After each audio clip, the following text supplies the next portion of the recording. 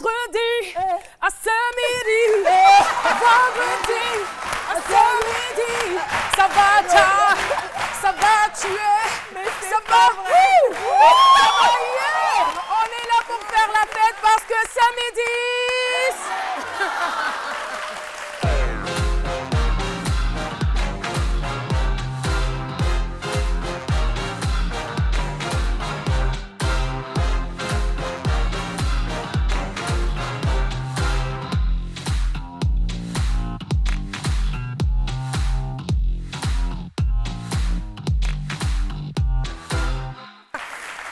Voilà, nous sommes donc euh, sur le plateau de ce midi.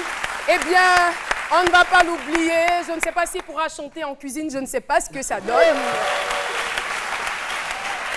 Vendredi à ce midi, c'est le jour où on mange bien. Oui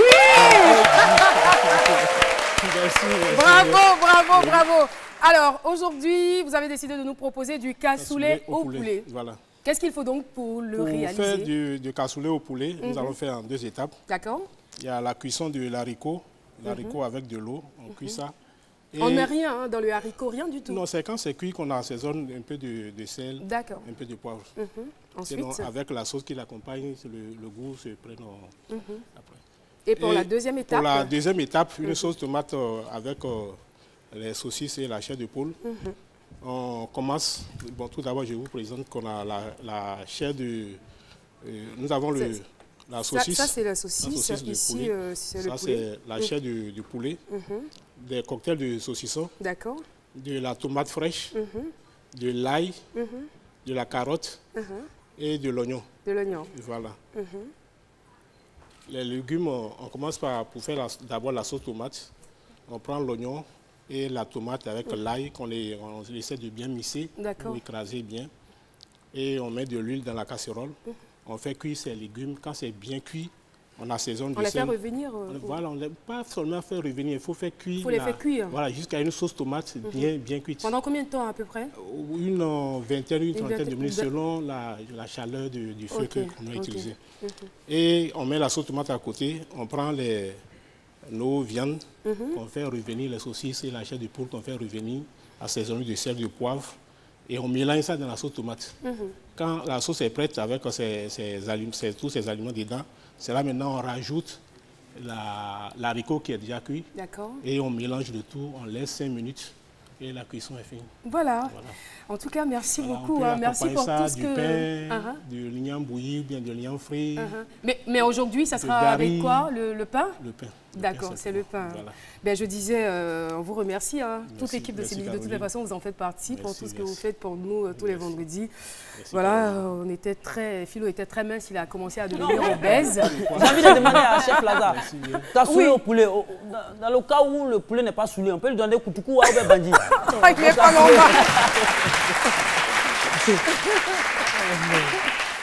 Alors, le thème du jour, je suis un lien entre le Canada et l'Afrique. C'est une devinette. Oui, c'est une devinette. Je suis un lien entre le Canada et l'Afrique. Qui suis-je? 50 000 francs à la clé. Combien? 50 000 francs. Sérieux? Qui suis-je? Oui. La feuille de patate. Feuille de patate? Non, non, non. Feuille d'oignon? Feuille d'oignon? Non. Euh, poulet braisé. D'accord, non. On reviendra sur cette question. On reviendra sur cette question. Le temps pour nous de retrouver donc euh, notre euh, humoriste maison, Dr Philo, pour le décryptage. Mais j'ai une bonne nouvelle pour les Ivoiriens. Ah, Enfin, Drogba est revenu sur sa décision. Au dernier moment, Drogba, euh, devant les pleurs de sa mère, devant vraiment Les pleurs des Ivoiriens. voilà, les pleurs des Ivoiriens et aussi de Les- la contribution de son oncle, Drogba est revenu sur sa décision. Qui est Drogba? Il s'agit de Jacques Drogba. C'est-à-dire, euh, voilà, euh, Jacques Drogba, c'est un jeune qui travaille euh, dans la plantation de palmiers à Dabou. Philo, tu vas sortir. Voilà, euh, sortir. vous avez pas- au dernier moment, il a décidé de rentrer dans la cour familiale après cinq années passées dans. Je n'aime pas ça. vous avez passé à qui?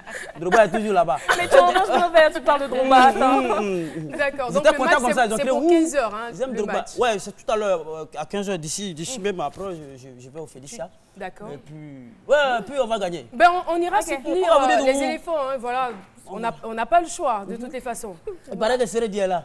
C'est là. Ah, c'est que ça va chauffer. Moi, j'irai spécialement pour lui. Voilà. Alors, docteur Philo, je Oui. suis un lien entre le Canada et l'Afrique. Mais ça, c'est clair. Le lien entre le Canada et l'Afrique, c'est euh, c'est patate, c'est la patate. Quand vous regardez le drapeau du Canada, c'est pas feuille de patate qui est dessus, ils appellent ça érable. C'est la feuille d'érable. Ah, non, non, non, c'est patate. Mais il faut savoir que au Canada aussi, il y a, il y a une bonne euh, euh, colonie, hein, colonie euh, ivoirienne là-bas au Canada. Il y a même une amicale là-bas, l'AICA, l'amicale des Ivoiriens du Canada. C'est des gars qui nous suivent beaucoup, ils suivent ces midis, et puis fait. voilà, voilà. Ils sont beaucoup les Ivoiriens. Mais Djoula va jamais au Canada. Pourquoi? Canada, Canada. Canada, Canada, ça veut dire- Philo. non, ils ont, ils ont déformé. ils ont déformé. Ils Canada. Ah, les Canadiens. Donc, ils ne vont jamais au Canada. Mais au Canada, c'est les Grigali. Hein. Ils ont un seul Le slogan. Grigarali. Ouais, ouais, ils ont, ils ont un slogan là-bas. Non, il faut Bara même, pour Jossi même. Mais tu, Non, mais tu peux t'exprimer tu en ne fais français, qu'aligner les mots nous aussi. Hmm, plaît. non, pour travailler, pour, pour manger. d'accord. Voilà, Ah, merci. Voilà. hmm. Ils ont leur slogan là-bas. Ici au Canada, si tu ne grigras pas, tu seras graya. Au Canada, là-bas? Ah, ah, ah, ah. C'est ton slogan pour eux ou bien c'est leur Non, slogan? c'est eux-mêmes les slogans. voilà, j'ai des cousins, des neveux qui sont là-bas et puis ben, voilà. À beau mentir, celui qui n'a jamais voyagé. Ça existe aussi. Hein. Et puis, je voudrais terminer pour dire que le Canada, vraiment, c'est c'est un pays bilingue. Donc, si tu ne sais pas parler français, tu peux parler anglais. Tu peux parler anglais, tu peux parler français. Voilà, donc c'est pour dire Ils ont qu'au Canada, tout le monde. voilà, ils ont pensé à tout le monde. Bon, ils sont en train de- d'initier même euh, le Noussi là-bas ces temps-ci. Oui, là, c'est la En dernière tout cas, c'est une très très bonne nouvelle. Merci beaucoup. On applaudit très fort Docteur Philo. Alors, la question qui nous a servi de micro-trottoir est la suivante. Que pensez-vous, sinon que savez-vous de la diaspora ivoirienne vivant au Canada? On écoute et on se retrouve juste après. Diaspora ivoirienne au Canada, je sais euh, qu'il y a une forte euh, communauté ivoirienne au Canada, surtout des émigrés, à travers certains processus tels que Access Canada, ceux qui vont pour des études avec toute leur famille. Donc je sais aussi euh, qu'ils sont bien représentés au Canada. Je n'en sais rien du tout du Canada. Rien du tout. Là-bas, ils sont beaucoup concentrés sur leur boulot. Et puis, on ne va pas au Canada n'importe comment. Tout ce qu'on sait, c'est que de plus en plus les Ivoiriens euh, convergent vers le Canada. On a des informations comme quoi même les Français même convergent vers le Canada. Donc en conclusion, on suppose que euh, c'est un Eldorado. J'ai un ami qui, qui est depuis euh, un certain moment. C'est un sportif, en tant que sportif. Au niveau du sport, vraiment, ça, c'est super bien. Est-ce que vous voyez?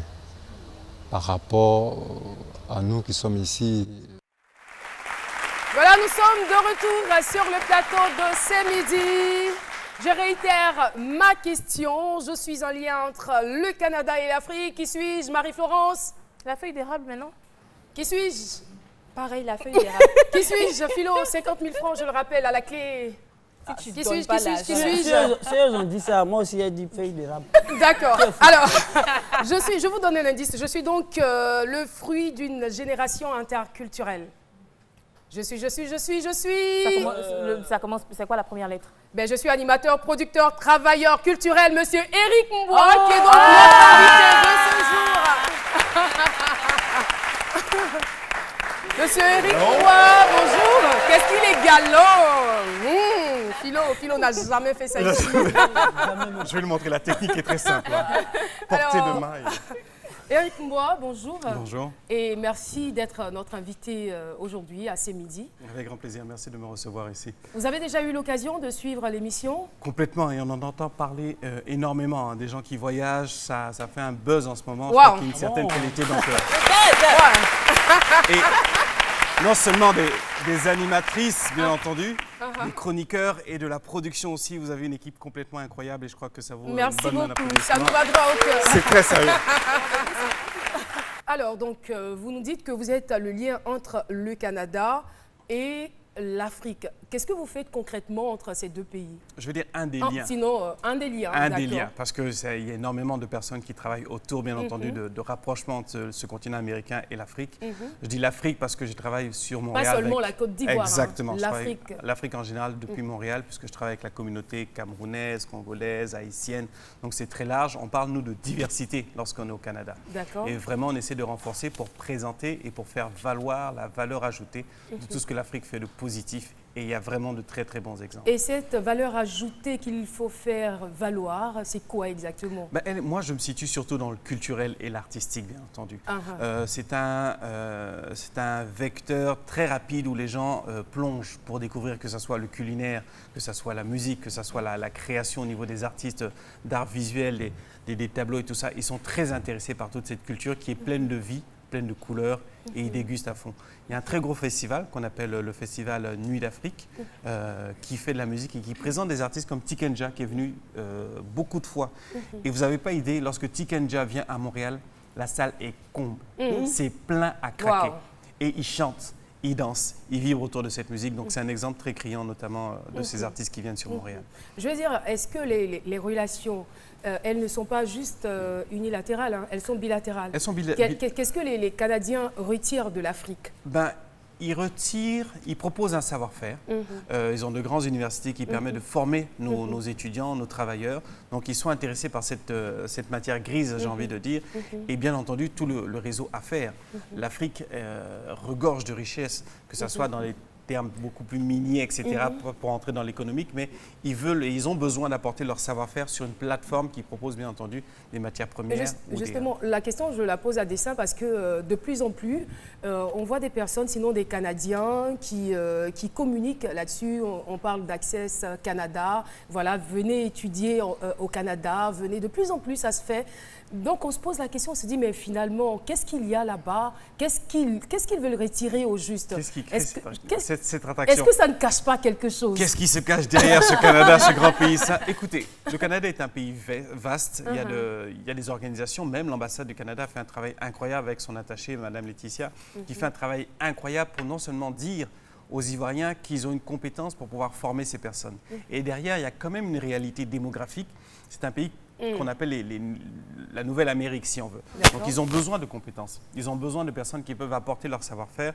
Et ils veulent ces étudiants-là, plutôt que de se rendre sur le continent européen ou en France, comme on voit certains, dans, dans certains cas, proposer un enseignement qui est à la fois bilingue, ce qui est intéressant pour Mhm. ouvrir sur tout le monde, et une, une compétence qui est propre au Canada dans des, dans des domaines techniques et, euh, et précis. Donc c'est ce qu'ils recherchent, c'est ce qu'ils veulent euh, re- les, retrouver. les Africains sont-ils bien traités là-bas? Ils sont bien traités, les Africains. C'est une bonne chose. On ne fouette pas les Africains.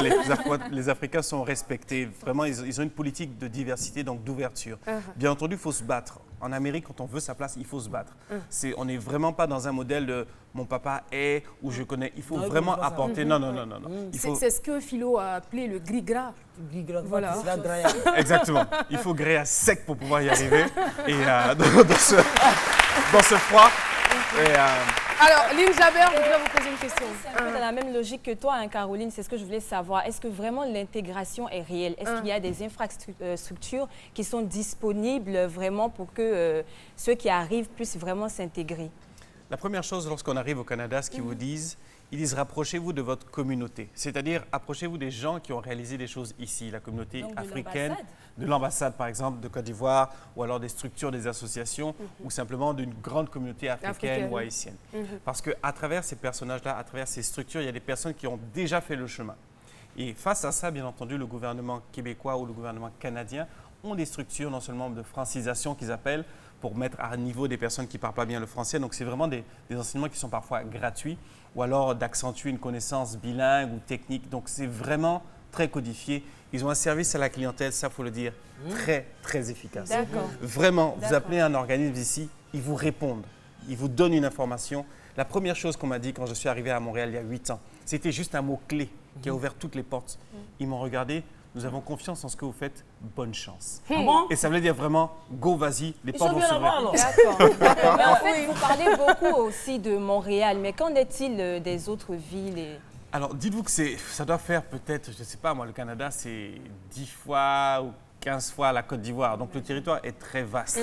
Quand vous prenez l'avion pour aller d'un bout à l'autre, vous pouvez faire peut-être 6 heures. Donc, imaginez en, Dans le même Canada. Dans le même Canada. Si vous prenez la, la voiture, c'est en 3 jours, 4 jours. C'est comme Abidjan. tu- Abidjan. Paris. Dans c'est six heures, l'avion. dans le car. Pas en marchant, hein, Philo, non. Parce qu'on il va marcher. Ah, mais ce que vous dites, euh, moi je dis, c'est beaucoup impressionnant. hein. Selon ces informations de sources non concordantes que j'ai ici, euh, dit vous êtes euh, passionné par la musique et les arts, il profite de ses études, la vibration culturelle et artistique de Montréal l'appelle, il est animé par la grande variété d'événements, son expérience personnelle, on doit faire remarquer de lui. Mais au fait, qu'est-ce que vous recherchez au juste? C'est du matuvuisme ou quoi?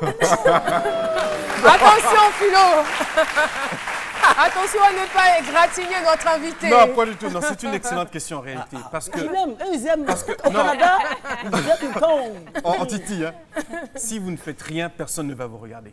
C'est par votre travail qu'on va porter une attention et c'est par votre travail qu'on va venir vous chercher. Si vous êtes juste dans le, dans le, dans le matu-vu ou dans le- dans l'exubérance, non.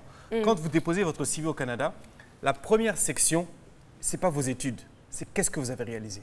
What can you do? Donc ils disent, OK, qu'est-ce que vous avez réalisé, qu'est-ce que vous savez faire? Et c'est à partir de l'expérience qu'on va vous dire, OK, on vous met dans ce jeu-là. Donc j'aurais beau me montrer, j'aurais beau chanter mon nom comme euh, les Atalakou, ça va pas marcher. C'est qu'est-ce que tu sais faire, qu'est-ce que tu peux faire. Et peut-être pour répondre à la question, le Canada, bien entendu, est, est bilingue. On a une grande communauté francophone dans la province du Québec. Et l'autre côté, c'est tout l'Ouest, qui est beaucoup plus anglais. Donc les réalités diffèrent entre les différentes régions. Et le travail, bien entendu, reste le même, c'est-à-dire la détermination et aller de l'avant. Il faut vraiment se battre pour faire sa place. Monsieur Caroline, Eric, euh, d'accord, je te quand- laisse. Quand, tu l'écoutes parler, tu, as- tu, tu sens pas une pointe d'accent canadien? Mais moi, je vais tout simplement vous dire. je veux tout simplement savoir, pourquoi vous avez décidé de revenir. Comment c'est fait votre intégration Ça, ne- ça ne se ressent pas. hein. Alors, Il le masque bien. écouter, je vais parler, mais regardez les sous-titres en bas. Parce que Ok, on va essayer de... Il faut se dire une chose, c'est que quand vous êtes au Québec, c'est une prouesse francophone. Ok. Donc, à un moment donné, l'accent peut échapper à l'entendement des personnes, mais ça reste le fun. C'est bien le fun. C'est bien, il peut imiter Céline Dion en plus. C'est extraordinaire. Ils ont, ils ont un ouchi à eux, en fait. hein. Sur cet accent-là, ils ont des termes, des, des- des expressions propres. Donc, euh, l'enseignement que tu disais du louchi, en train de se faire, je pense. Mais, certaine mais- là, c'est l'argot euh, canadien, L'argot ça n'a rien à voir avec Il y a, il y a- en bas du pont là-bas, ouais. Mais il adore les peaux, ce mec-là. Il y a pas aussi. Alors, ce qu'on veut savoir, euh, qu'est-ce qui vous a réellement motivé à, à venir témoigner ici à ces midis? Bah, J'étais présent sur Abidjan. Euh, J'ai fait une bonne partie de mes études sur la France et je me suis donné pour challenge d'aller du côté du, du Canada et des Amériques pour aller plus loin. Euh, je voulais toujours rester dans tout ce qui était euh, développement culturel et affaires. Et de passage à Montréal, à Abidjan, pardon, depuis trois ans, je réalise un projet qui s'appelle le Dîner en blanc, qui est un grand pique-nique géant où tous les gens s'habillent en blanc pour, euh, pour se retrouver et partager un instant autour d'un repas. Donc retrouver ses amis. Vous Moi, j'ai eu quand même envie de poser la question, hein, parce que euh, de plus en plus, euh, on voit des dîners en blanc. Je veux dire, c'est quoi l'origine au juste? L'origine, ça fait 26 ans que ça existe. C'est un Français qui l'a initié il y a Mhm. 26 ans à Paris et il voyageait toujours à l'extérieur. Et il se disait comment retrouver ses amis. Ben, il est parti de cette idée-là de dire à ses amis apportez un pique-nique, apportez quelque chose dans le, ensemble Mhm. et apportez toujours un ami en plus pour que moi je puisse les rencontrer, pour que je puisse les découvrir. Mhm. Et depuis 26 ans, c'est parti comme ça. Et le fils de ce monsieur qui est installé à Montréal est venu me trouver il y a 6 ans pour Mhm. proposer mes services justement en direction artistique parce qu'il avait entendu parler de mon travail. Mhm. J'ai dit, OK, je plonge dans l'aventure. Et on a commencé à développer. Ça est devenu un concept à la- à- à l'international. Et depuis trois ans, je l'ai apporté à Abidjan. C'était un bel accueil. Et ça a permis aussi de, de recréer un peu le lien social. Et pour moi, de rencontrer d'autres Ivoiriens, d'autres frères. En tout cas, c'est très beau à voir. Alors, euh, nous sommes au terme de notre entretien. Qu'est-ce qu'on retient de votre passage? On retient que vous avez un excellent sourire. On retient que vous avez Oh une émission là. complètement incroyable. On retient que Abidjan, mais c'est vrai, Merci et que. Abidjan a une telle vitalité. C'est pour ça que je reviens et que je propose ce dîner en blanc là le, le 6 décembre. Et puis j'espère vous y voir d'ailleurs, habillé tout en blanc. Toute la Caro Gang sera présente. Et On vous, vous attend. On vous attend. Merci, Merci beaucoup. Je Merci. rappelle, notre invité Eric Poubois est animateur, producteur, travailleur culturel au Québec. On a été très heureux d'échanger avec vous. Voilà, nous allons donc euh, virer pour euh, une autre chronique de cette émission. Merci. Merci à vous. Merci. Au revoir. Alors, on va retrouver Lynn Jaber parce que tout simplement, nous étions à Féerie et c'était féerique. Tu l'as dit. Vraiment. Vraiment. Gilles Touré, c'était le samedi dernier. On retrouve Lynn Jaber dans ses modes.